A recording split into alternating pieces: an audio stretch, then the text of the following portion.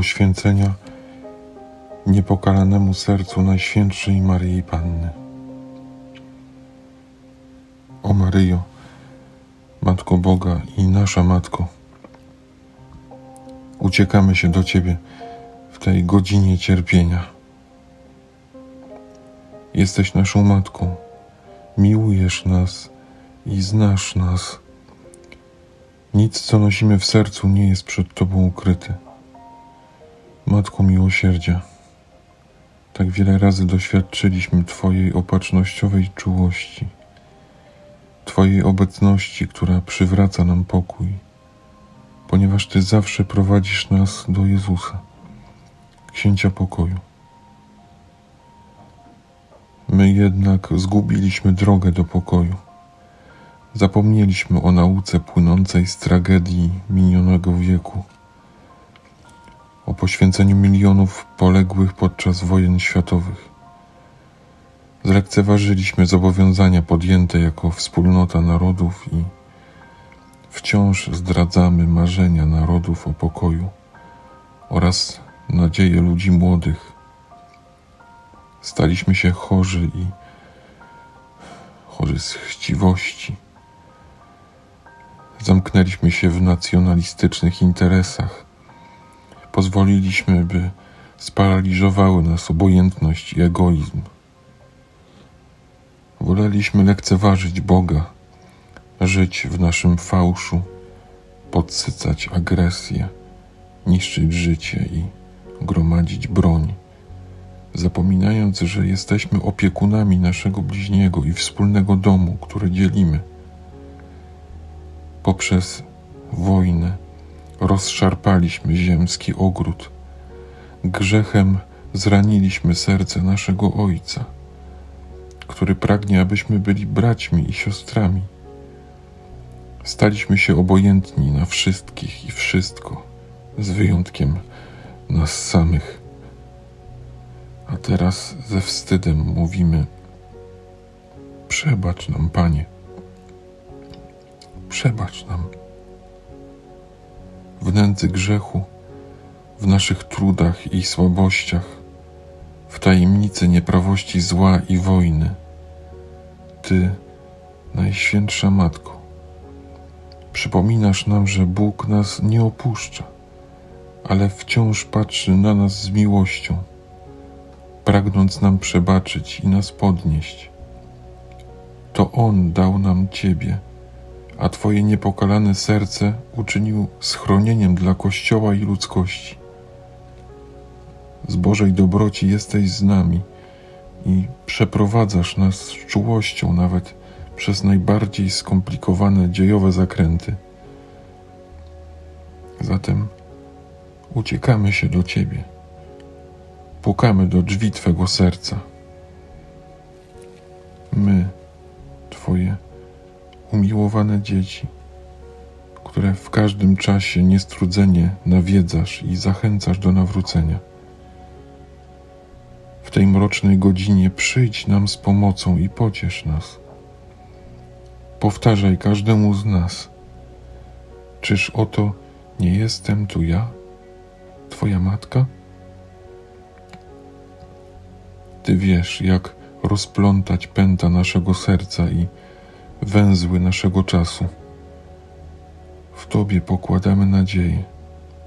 Jesteśmy pewni, że Ty, zwłaszcza w chwili próby, nie gardzisz naszymi prośbami i przychodzisz nam z pomocą. Tak właśnie uczyniłaś w Kanie Galilejskiej, gdy przyspieszyłaś godzinę działania Jezusa i zapowiedziałaś Jego pierwszy znak w świecie. Gdy uczta zamieniła się w smutek, powiedziałaś mu: Nie mają wina. O matko, raz jeszcze powtórz to Bogu, bowiem dziś zabrakło nam wina nadziei, zniknęła radość, rozmyło się braterstwo. Zagubiliśmy człowieczeństwo, zmarnowaliśmy pokój. Staliśmy się zdolni do wszelkiej przemocy i wszelkiego zniszczenia jakże pilnie potrzebujemy Twojej matczynej interwencji. Przyjmij więc, o Matko, to nasze błaganie. Ty, gwiazdo morza, nie pozwól, byśmy zostali rozbitkami w czasie wojennej burzy. Ty, ziemio nieba, zaprowadź w świecie Bożą zgodę. Ugaś nienawiść, usuń pragnienie zemsty, naucz nas przebaczenia. Uwolnij nas od wojny, zachowaj świat od zagrożenia nuklearnego. Królowo Różańca Świętego, rozbudź w nas pragnienie modlitwy i miłości. Królowo rodziny ludzkiej, wskaż narodom drogę braterstwa. Królowo pokoju, wyjednaj światu pokój. Niech Twój płacz, o Matko, poruszy nasze zatwardziałe serca. Niech łzy, które za nas przelałaś, sprawią, że znów zakwitnie owa dolina, którą wysuszyła nasza nienawiść. I choć nie milknie zgiełk broni, niech Twoja modlitwa usposabia nas do pokoju. Niech Twoje matczyne dłonie będą ukojeniem dla tych, którzy cierpią i uciekają pod ciężarem bomb. Niech Twoje macierzyńskie objęcie pocieszy tych, którzy zostali zmuszeni do opuszczenia swoich domów i swej ojczyzny. Niech Twoje bolejące serce poruszy nas do współczucia i przynagli do otwarcia drzwi i opieki nad zranioną i odrzuconą ludzkością. Święta Boża Rodzicielko, gdy stałaś pod krzyżem, Jezus, wskazując na ucznia obok Ciebie, powiedział Ci – Oto syn Twój. W ten sposób zawierzył Tobie każdego z nas. Następnie do ucznia, do każdego z nas, rzekł: Oto matka Twoja. Matko, chcemy Cię teraz przyjąć w naszym życiu i w naszej historii. W tej godzinie ludzkość wyczerpana i zrozpaczona stoi wraz z Tobą pod krzyżem i potrzebuje zawierzyć się Tobie, potrzebuje poprzez Ciebie poświęcić się Chrystusowi.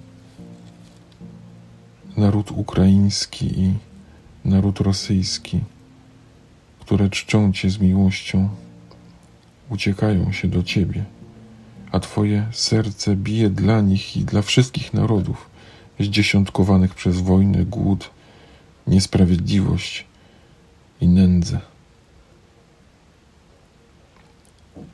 My zatem, Matko Boga i nasza Matko, uroczyście zawierzamy i poświęcamy Twojemu niepokalanemu sercu siebie samych, Kościół i całą ludzkość, a zwłaszcza Rosję i Ukrainę Przyjmij ten nasz akt, którego dokonujemy z ufnością i miłością. Spraw, aby ustały wojny i zapewnij światu pokój. Niech tak, które wypłynęło z Twojego serca, otworzy bramy dziejów dla księcia pokoju. Ufamy, że poprzez Twoje serce nastanie jeszcze pokój. Tobie więc poświęcamy przyszłość całej rodziny ludzkiej, potrzeby i oczekiwania narodów, niepokoje i nadzieje świata. Niech za Twoim pośrednictwem Boże miłosierdzie rozleje się na ziemię i niech słodki rytm pokoju na nowo kształtuje nasze dni. Niewiasto, któraś powiedziała Bogu tak – i na którą stąpił Duch Święty. Przywróć pośród nas Bożą harmonię. Ożyw nasze oschłe serca, Ty, któraś jest żywą nadziei krynicą. Ty, któraś utkała człowieczeństwo Jezusa. Uczyń nas budowniczymi komunii. Ty, która przemierzałaś nasze drogi, prowadź nas drogami pokoju. Amen.